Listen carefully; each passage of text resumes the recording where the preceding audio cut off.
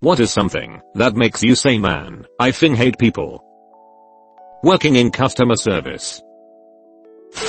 People who litter, especially when there is a bin literally a meter away. Kobo shit I missed the bin. Might as well leave it there for someone else to pick up. Anytime I hear about rape gangs, child prostitution rings or morgue parties, a lot of people are just screwed in the head. What are morgue parties? Necrophiliac orgies. It makes me sick just putting it simply. Why aren't they called morges? Do I upvote or downvote this? Managers firing competent workers to secure their own position. My dog ran away 5 days ago, and I've been posting on every website trying to find him. Someone posted him as found yesterday and someone else claimed him. Had to contact the police to help me finally get him back after 5 hours of headache because the person that found him blocked me and they were only trying to cooperate after the Facebook group that originally thought he was returned to his rightful owner put them on blast for stealing my dog. People fucking suck man. Fuck that guy. With a cast iron skillet. Burning. Up the ass. Workplace politics. Period. Guess this common evil that makes working life a continuous, living medium grade hell for every one of us struck a chord. This is my shortest comment that got the most upvotes and lot of metal thrown at it for the first time. Thanks a lot to all you kind anonymous redditors for the platinum, gold and silver. Got me a peep into r slash platinum and r slash lounge as well. Also rip my inbox. Trying to reply individually to each comment. Especially the ones I feel the most for. The people who had to give up their position for being victims of office cloak and dagger politics. But with so many replies pouring in, may not be able to keep up, though I'm reading every one of them. High school drama never ends. It just puts on business casual and starts drinking coffee.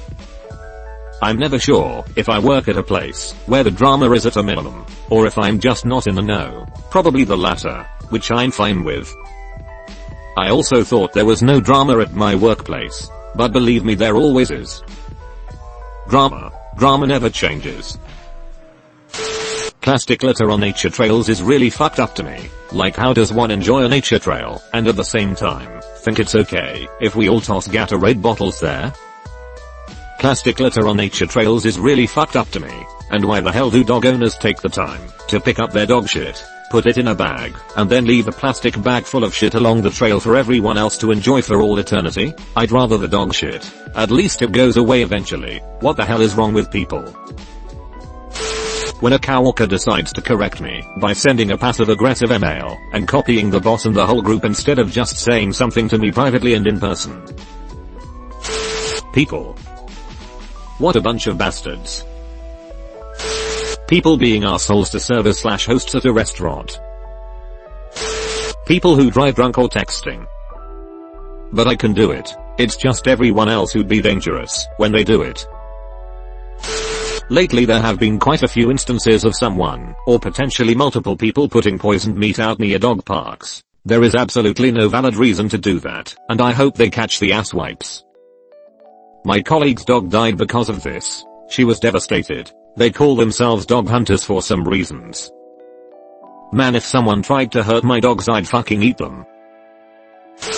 People who mistreat animals. I just can't fathom the mindset that enables someone to hurt truly innocent creatures. I agree. Animals deserve respect and protection. All animals, not just the ones we like.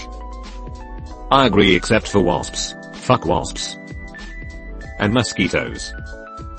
Antics. Lyme disease scares me shitless. People who don't return their grocery cart. Like, who do you think you are? At Aldi you can pay for the privilege of not returning the cart. Backslash pushes 25 cent cart into traffic. Peasants. Might seem trivial, but it fucking drives me nuts when people get off an escalator and just stop and decide where they want to go next. It's like I can't stop this thing you need to keep moving. Also people who stand in doorways. People like Epstein were so brazenly breaking the law.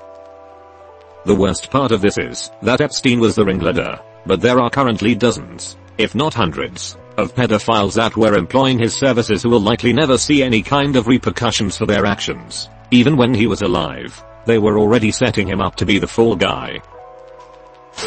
After working as a critical care nurse for years now, you'd think it would be the countless fourth drug abusers or alcoholics that I treat in the MICU. But it's not my patients that make me think that. It's their families. I get that most of the time. People are nervous for their loved ones, they don't want to lose their parent. But I see this situation happen over and over. When it's time, people can't just let go. So 95 year old Nana comes in and has trouble breathing. We ask her if she would want to be intubated if necessary and says no. She doesn't want that or CPR. But there isn't a form and her daughter is healthcare proxy. Too bad the family doesn't respect that. So we tube her. But her blood pressure can't handle the sedation. So we need to start pressors. Then she develops a pneumonia. So we've got to pump her with antibiotics. But oops. Too bad she's already gone septic. Start some more pressors. Who care if she loses a few fingers and toes in the process? We've got a BP right. Get some bedside dialysis going too. Might as well. Until ultimately, we tell the family it's getting to be futile, and we should really just make her comfortable for her own sake. But no, they don't agree. Fuck your years of schooling and experience. So Nana codes. I do chest compressions and break all of her ribs in the process. We shock her and slam her with drugs and fluids for a half hour until eventually there's literally nothing more to do. I'm sorry I know this was such a long rant. I just got off an overpass. But it's happened so often, and every single time I just think of the agony we put this person through in their last days on earth all because a family couldn't respect their loved one's wishes. Please, when it's time just let me pump them with morphine and Ativan and let them go in peace and comfort. ED Nurse here. Spot on. Or even worse, you get Nana coming and just barely pre-code with a one family member who's been taking care of them throughout whatever terminal disease process they have. They have leveled with the idea that their mom is going to die and is DNR slash DNI. The patient is about to die. When all the family members who haven't been around run in screaming at you that you need to save Nana, that she'll bounce back, that she has more time, that you don't know what you're talking about, that if you don't save her they'll kill you, etc. That if you don't save her they'll kill you, etc. One security please. Escort this particular fellow out. People that find the utmost joy in saying nasty shit behind others' back. Either that or people that plot on other people's demise. You know like sit there and watch them make a mistake, only to use it against them for their own personal gain, when they could have just helped them in the first place. Porch pirates. People thinking hey I know that's not mine, but I want it, so I'm taking it makes my blood boil. We had that happen in our neighborhood once. Now I'm surrounded by three very, very nosy neighbors. Any strangers in the cul-de-sac and three sets of blinds get split by suspicious figures. I could have the Hope Diamond delivered by Amazon to my doorstep, and I wouldn't worry about it. Ethel has eyes like a hawk. People who say oh it's their job to clean up after me, or I'm making sure that they are still employed as an excuse for not cleaning up after themselves in public. Like no, you don't leave a soda spilled everywhere and then not even attempt to clean it up. You don't leave rolls and rolls of toilet paper all over the floor in the bathroom. You don't leave bags of popcorn and drinks and popcorn all over a theater floor and seats. Take responsibility. Clean up your mess. My dad does this. I work in the cinema, so I get free tickets. But he refuses to clean up after himself, and says it's their job. Does he not realize I literally work there? Screw his free tickets. When people twist the truth and accuse you of things you didn't do, and people side with them. When they did something obviously wrong and still openly denies it. Adults who take youth sports way too seriously. Animal cruelty really makes my blood boil. When people don't pick up their dog's poop. People who abuse their power and get away with it scot-free.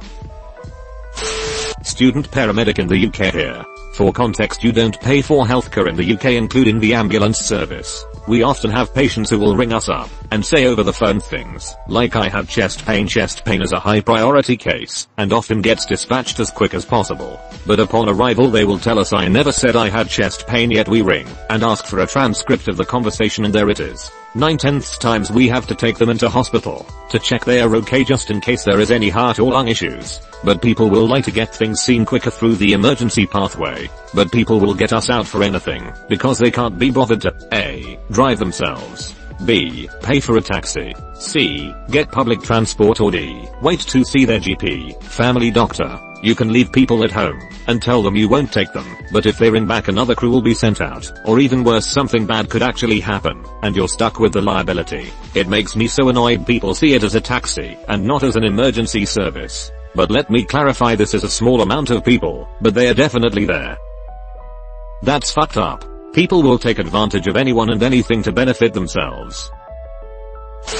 People who can't take no for an answer and will push you to agree slash accept what they say. People who can't accept criticism when they fuck up and affect other people's lives. People who can't have a discussion where they are being told a fact and they disprove it because back in the day, or authority arguments should always win. It teaches you some hardcore patience when you have to deal with people like these on the daily. Every day when I hear about the next despicable vile thing done by the human race, especially if it involves kids or animals, people can be so cruel. Gestures broadly at everything,